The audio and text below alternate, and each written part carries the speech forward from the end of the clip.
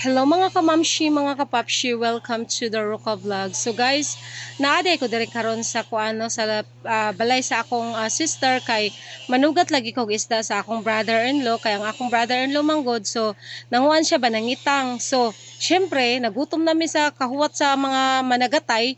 Gipanggutom mi nakahuna-huna mi nga ah, while magistoryahay mi diri mga unsa mi bi so wala may sudan kay syempre nanagat palagi. So aw ako dayon ah, nangutang dayon ko diri sa akong igagaw no nangutang kay ko kwarta. Nangutang kog hotdog so nangaon mi. Unya si Inday Taler ni palit siya buwad. Dito ila ni Mermer nga puwerte kalami nga buwad. Oy tabang kaayo. So mauna nga diri mi nangaon no sa ilawom sa puno. Puwerte pagkalami sa among kaon diri kay naami diri sa ilawom sa puno. Pagkabugnaw sa paligid. So ang among kilid ana babuyan sa akong isuon. Naanay naanay ad sa baboy diha sa among gikaonan. Pero syempre okay ra kayo kay wala may baho. Kay syempre limpyo kay na ang ad sa akong ah, igsuon bahala ako igsuon may di kaligo. Basta ang mga baboy niya makaligo na siya. Di ba? So lami kay mga on guys no nga kaning naata diri sa ilam sa puno ba? Mo ni makanindot diri sa kuan ba sa isla no? Kay kanang kuyog-kuyog dayon mo magkaon-kaon bahala ang inyong gipangkaon diha.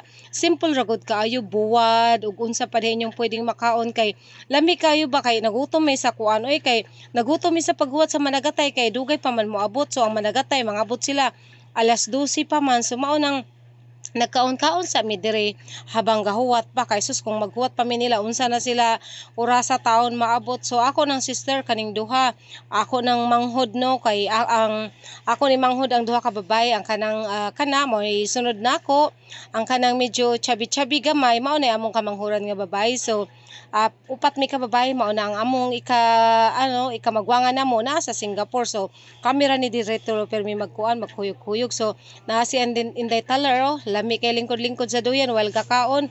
Ya bugnaw kayo ang paligid so mao na mo samot imong gana.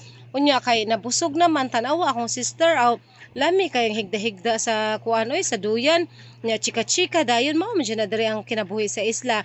Na ang ako tiya Hilda ang akong father nga chika-chika dayon silang duha. Nya usahay magbais-bais pud silang duha no?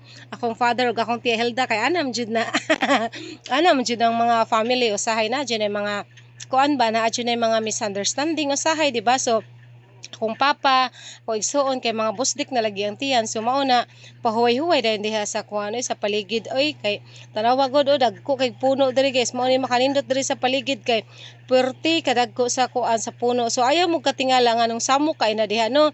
Kay syempre ang weather karon kanang mukalit og bagyo mukalit og kanang ah, hangin-hangin. So ang mga kuan ang mga dahon magsigig kahulog mao na nga medyo samok jud ang paligid karon. Kay tungod na ay napoy mga gipang trabaho pa nga pa jud na human ba? So mao na ni niabot na ang mananagat. Ni niabot na akong brother-in-law. While ako gahigda-higda diri sa duyan sila busy na sila sa pagkuan. Gadabok sila kayo kay manugba sila isda. Unya magtuwa unya magkilaw kay niabot na ang akong brother-in-law. So mao ni gihi kuan mao ni gihatag sa ako ang ah, mga isda o hilinggiro ug unsa pa diha. So mao na makanindot kay makalibre dayon tag kanang kuano kanang isda diri sa isla ba di ba? So kana libre na kaayo na o pila pud na og imong ah, paliton. So mao ni baboy sa akong igsuon no? Lima na kabuk guys. So kung ganahan mo mopalit baligya ra na sa akong igsuon ang kanang mga kuan mga baboy. Ready to kuan na na. Ah, ready to baligya na na ang iyang kuan iyang mga baboy. So maura na. Thank you